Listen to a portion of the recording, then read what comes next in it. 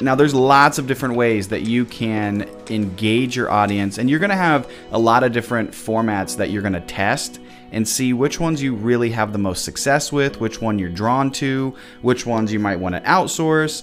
You might find that different kinds of, of funnels, whether you're talking about ads or webinars, emails, different things that you want to work, you're going to find that you have your favorites. Uh, and ones that work a little bit better.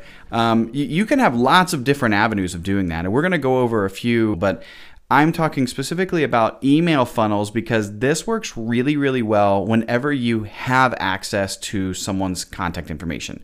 So if you are working with an existing list, or if you are having, let's say you're running ads to a lead magnet, which is like a downloadable checklist or something, and you want to have proper follow up after you get them to convert this is the kind of thing that is just a natural next step. So, for example, that might be uh, a 10 step checklist or a how to guide or a free template of some kind. And that's your lead magnet. You're giving that away to somebody for free uh, in exchange for their contact information. So you're adding to your list. Now, once someone gets added to your list, it's a natural next step to offer them more information, to get them to take the next step that you want them to take. And so in this case, we're going to utilize our email funnels in order to do that. It's a natural next step. The other really cool thing that this helps with is okay, so you might have gone through and validated your offer, and that's great.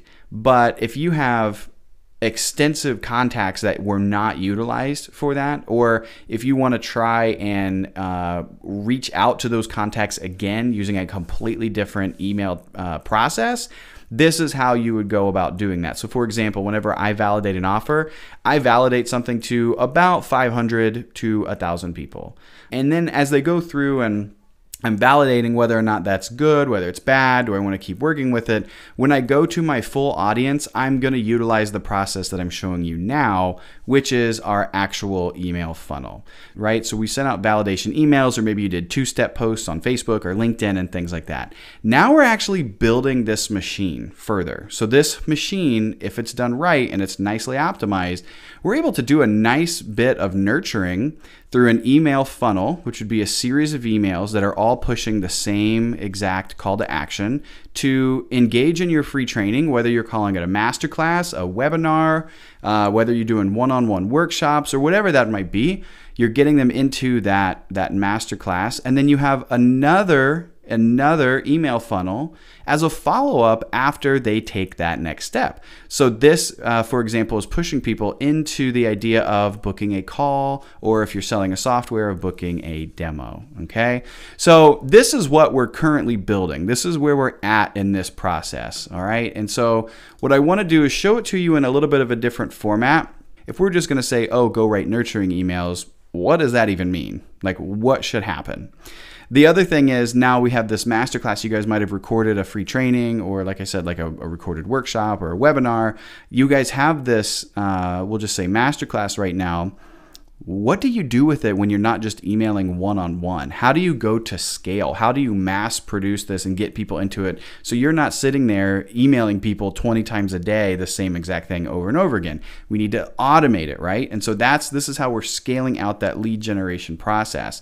So what goes into that and then what goes into this, okay? And so again, like you might have a lead magnet thing up here that we're going to talk about in a little bit that you're generating. This is that follow up nurturing that you're going to use to get people to engage in hearing you present and hearing you speak and hearing you in, uh, interact with them so that they can then buy in and take that next step with you. Okay. So let's look at that conversion path. Okay. So this is breaking up that graphic that I just showed you into smaller, uh, more uh, in the weeds kind of pieces. Okay, so first off, let's look at the masterclass itself. What does that look like? So it's basically these light blue boxes into the dark blue boxes.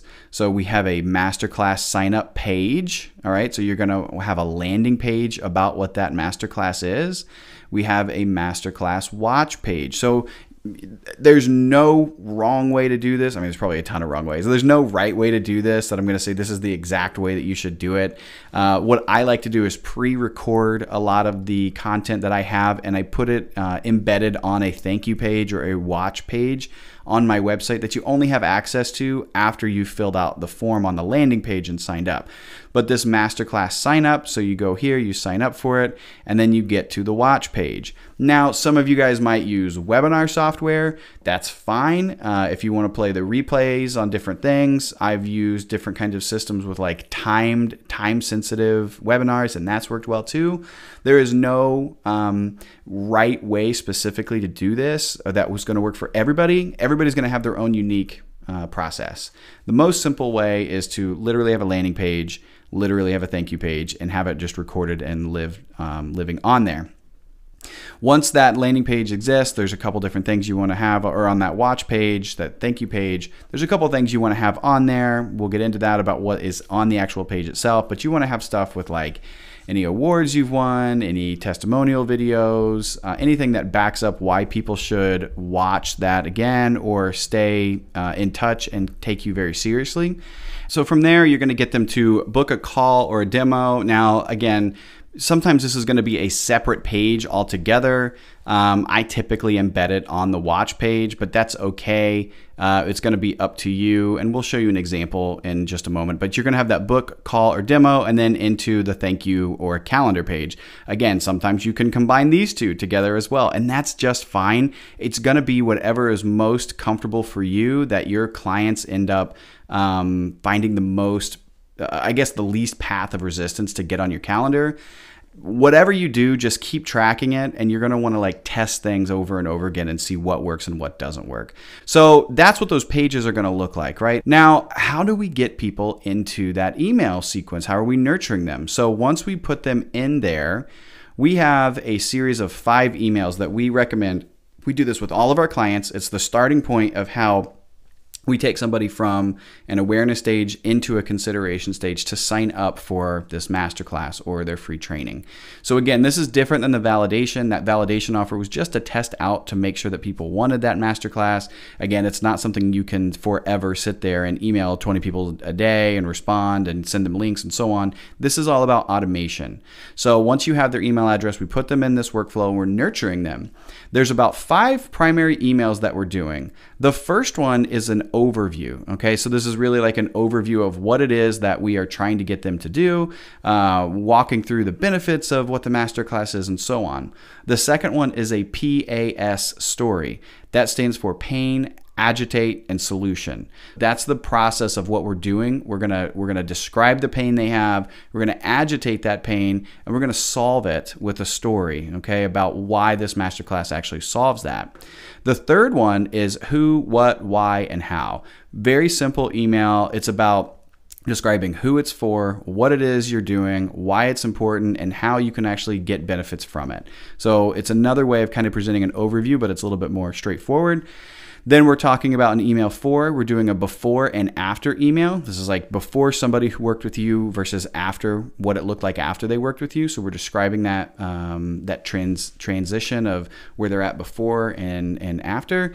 Um, and then the last one is an urgency kind of short email, last chance. This is the time to do it. This is the time to connect with us, and so on. So these are the five emails that we always use as a starting point. You are not required to use these emails. This is just our recommendation for how to get started. Okay, you can use whatever process you want in this. You can not use our templates at all. You can completely uh, start fresh, but this is just the the boilerplate that we like to start with always and know that it's not going to work 100% perfect for you right out of the gate. You're going to have to tweak it. You're going to have to monitor it and change things. Okay. Then we get into the next uh, set of emails, which is down here. So they've signed up for the masterclass. How do we get them to book a call if they don't do it on their own? Well, we're going to get them into some kind of nurturing engagement.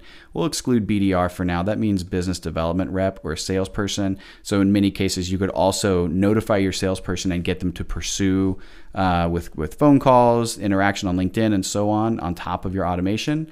But what does that automation look like? So all these emails get them to sign up for the masterclass. They sign up for the masterclass. You're going to add them to a list so you can track how many people have signed up for our, our training. And then from there, we have another five email series that we're going to send out. The first one is access to the masterclass, and we're promoting again the probably the overview, some of the information that's going to be on the landing page.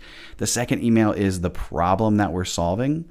The third email is about proof, so testimonials or proof that it works. The fourth email is handling objections for why people don't want to work with you or why people are hesitant to move forward. So you're going through that in an objection. And the fifth email is uh, it's a sales letter. It's probably the most salesy thing that you'll do in this whole process. And all of that then to push people back to this page to watch the masterclass again and or book a call or demo. So I hope that makes sense, guys. Um, this is a very high level overview of what that looks like. My name is John Aiken. Thank you so much, and we'll see you next time.